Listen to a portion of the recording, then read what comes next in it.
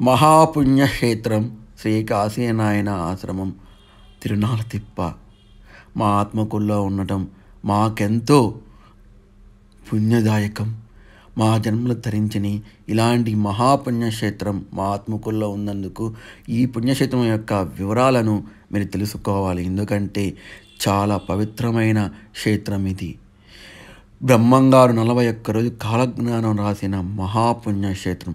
అంతేకాదు బన్ భక్త కన్నప్ప బృహమహర్షి ఇక్కడే ఉన్నారు. ఇప్పటికి కూడా ఇక్కడికి వచ్చిపోతున్నారని చెప్పి పై వాళ్ళు చెప్తూ ఉండేవాళ్ళు. అంతేకాదు మనం అరుణాచల గిరిపేషణ ఎలా చేస్తామో ఎంత ప్రాముఖ్యత ఉందో ఇక్కడ గిరిపేషణ కూడా అంతే ప్రాముఖ్యత ఉంది. అదిగో కనపడుతుంది గృహ. ఇక్కడే బ్రహ్మంగారు కాలజ్ఞానం చేశారు బ్రహ్మంగారి హట్టు చూస్తున్నారు కదా. ఇది వీరభగవ సంతరాయల్లి గృహ. అక్కడ ఎదురుగా చూస్తే కాసిం నర్మదా బాణశివలింగం అన్నీ కూడా ఇక్కడ మీకు గోచరిస్తాయి. అష్టదిక్పాలకులు ద్వాదశ శివలింగాలు ఈ తిప్ప చుట్టూరు ఉన్నాయి. రాములవారి గుడి ఈ ఇలాగా ప్రతి ఒక్కటి కూడా చాలా గుళ్ళు కూడా ఇక్కడ ఉన్నాయి. మూడు వందల అరవై రోజులు కూడా నిరత అన్నదానం జరుగుతూ ఉంటుంది. ఇక్కడ వచ్చిన వాళ్ళకి లేదనకుండా పెడుతూనే ఉంటారు. సంతాన పుట్టగా విరాళాలు వెళ్తుంది ఎంతో మందికి సంతానం కలిగించిన పుట్ట. ఇక్కడ మహారుషి తపస్సు చేస్తున్నారని పుట్టలో పైవాళ్ళు చెప్తూ ఉండేవాళ్ళు. ఇక్కడ రావడం కూడా కారణం ఏంటంటే కాశీనాయన బ్రహ్మంగారు అని చెప్పాను కదా అందువల్ల ఇక్కడికి రావాల్సి వచ్చింది. ఇక్కడ అన్నదానం జరగాల్సి వచ్చిందని రామచంద్ర నాయన గారు చెప్తూ ఉండేవారు. రామచంద్ర నాయన గారు ఎవరో కాదు. సాక్షాత్తు బ్రహ్మంగారి శిష్యుడు బ్రహ్మంగారి. కాశీనాయన ప్రథమ శిష్యుడు.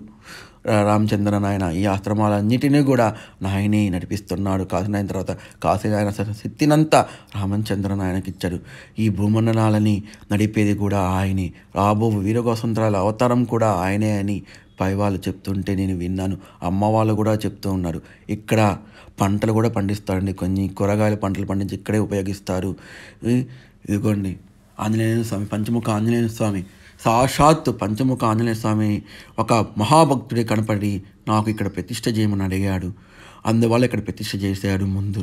తర్వాత ఇక్కడ నుంచి మనం పైకి అంటే శివుడు నర్మదా బాల శివలింగం తర్వాత వీరభవసంతరాయలు దుర్గాదేవి. ఇక్కడ నాగ దుర్గాదేవిగా అమ్మవారు వెలిసింది ఇక్కడ. కోరిన కోరికలు కోర్చి మహా విలవేలుపుగా ఇక్కడ వెలిసింది. ఎంతో మందికి ఇక్కడ సాక్షాత్కరించింది అమ్మవారు. దర్శనాలు కూడా జరిగినాయి.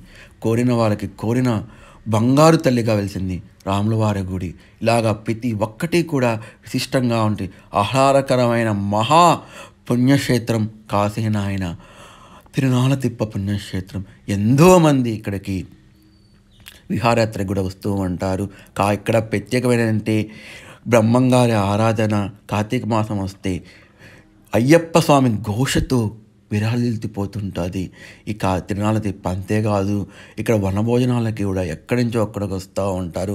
ఇక్కడ ఇంకో విశేషం ఏంటంటే దసరా మహోత్సవాలు.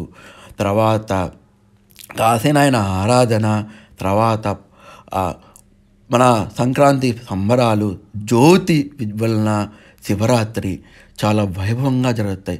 ఇంకో ప్రత్యేకత అంటే నవంబర్లో అయ్యప్ప స్వామి గుడి ప్రతిష్ఠ జరుగుతుంది ఆ రోజు మెట్ల పూజ జరుగుతుంది. ఎంతో వైభవంగా జరుగుతుంది. ఈ అయ్యప్ప స్వామి గుడి కూడా తొమ్మిది రోజులు గర్భగుడి నిర్మించారు. సాక్షాత్ అయ్యప్ప శబరిమల నుంచి ఇక్కడ వెలిశాడని రామచంద్ర నాయన గారు మాకు చెప్పాడు. మేము స్వసంతున్నాం ఈ ధ్వజస్తంభం కూడా ఏకశిలా ధ్వజస్తంభం. ఈ పద్దెనిమిది మెట్లను కూడా రెండు రోజులు తెరుస్తారండి. ఒకటి వార్షికోత్సవం రోజు రెండో రోజు ఆ పదహారు రోజు అదే మన సంక్రాంతి రోజు మకర జ్యోతి రోజు మెట్ల చేస్తారు?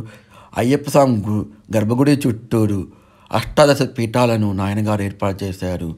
సాక్షాత్ అష్టాదశ శక్తిపీఠాలన్నీ ఇక్కడికే వచ్చి వెలిసారయ్యా అని చెప్పారు. అందుకోసం ఇక్కడ నిత్యం మూడు వందల అరవై ఐదు రోజులు అభిషేకాలు జరుగుతూనే ఉంటాయి అన్నదానం జరుగుతూనే ఉంటుంది. వచ్చిన భక్తులు కూడా ఇక్కడ ఎంతో ఆనందపడతారు. ఇక్కడ సేవకులే సేవకురాలే అభిషేకాలు నిర్వహించడం కూడా ఒక మహా అద్భుతం. తర్వాత సరస్వతి మందిరం.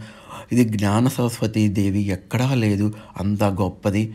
ఈ తర్వాత అమ్మవారి చుట్టూరు కూడా దశమహావిద్యలను నాయనగారు ఏర్పాటు చేశారు. చూస్తున్నారు కదా ఎంత అద్భుతంగా ఉందో. మహా అద్భుతం. ఇక్కడ మా చిన్నమస్తానమ్మ దేవికి నమస్కరించినచ్చు. మన బాధలు కోరికలు తీరుస్తారని నాన్నగారు చెప్పారు. ఆమెకి చెప్పుకొని వెంకటేశ్వర స్వామి కానీ మన బాధలు చెప్పుకుంటే నిస్వార్థంతో కోరిన కోరికలను వెంటనే తీరుస్తారు ఇక్కడ. ఇది ఒక ఆనవాయితీ కూడా కాదు నమ్మకం కూడా వచ్చే భక్తుల నమ్మకం కూడా. అమ్మవారిని చూడండి ఎంత ప్రశాంతంగా ఉందో. జ్ఞానాన్ని ప్రసాదించే చదువుతో పది తల్లి. ఈరోజు ఇంకో విశేషం ఉంది. ఈ కార్తీక మాసం ఆదివారం పంతొమ్మిదవ తేదీ రెండు వేల ఇరవై మూడులో ఇక్కడ రాముల వారి కళ్యాణం జరగడం ఒక విశేషం.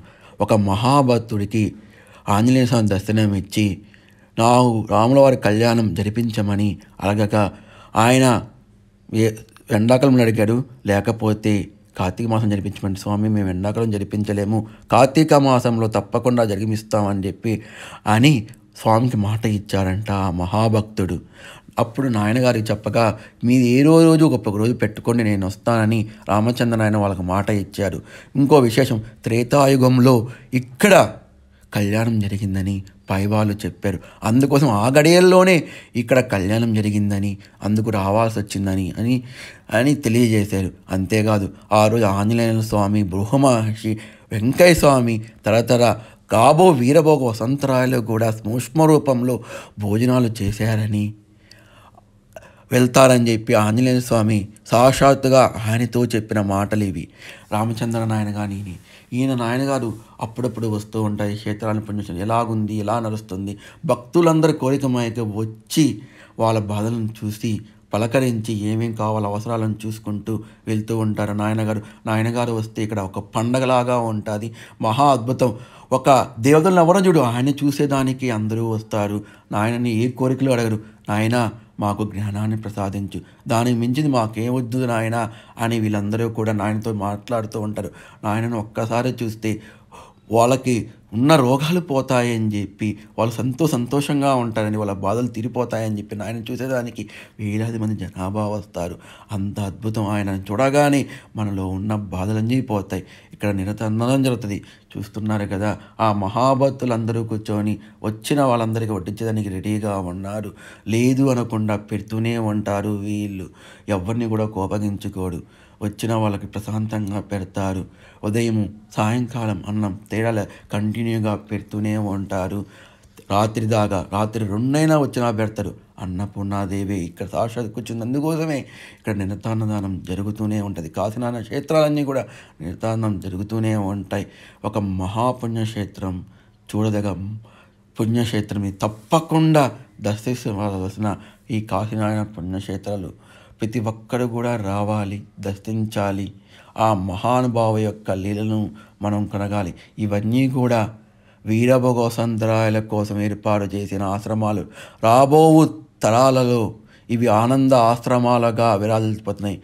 రాబోవు సత్యగం చూడడానికి మనం ఉంటామో ఉండమో ఇప్పుడే చూడండి ఇక్కడ ఆనందాన్ని పొందండి. ప్రతి ఒక్కరూ కూడా ఈ మహాపుణ్యక్షేత్రానికి వచ్చి ఆనందమని దీన్ని రాబు దీన్ని శివలింగాపురం అని తిరణాల తిప్పని తర్వాత నారాయణపురం అని ఈ హరిహరాపురం అని హరి అందుకోసమే అయ్యప్ప స్వామి ఇక్కడ వెలిశాడని చెప్పి చెబుతూ ఉంటారు. ఇక తపోవనం కూడా ఉంది. చాలా పుణ్యక్షేత్రాలలో ఇది ఒక అద్భుతమైన పుణ్యక్షేత్రం కాశీనారాయణ పుణ్యక్షేత్రం ప్రతి ఒక్కరూ దర్శించాలి. ప్రతి ఒక్కరూ చూడదగా మహాపుణ్యక్షేత్రం. ఎంత ప్రశాంతంగా ఉంటుంది అంత ప్రశాంతంగా ఓకే.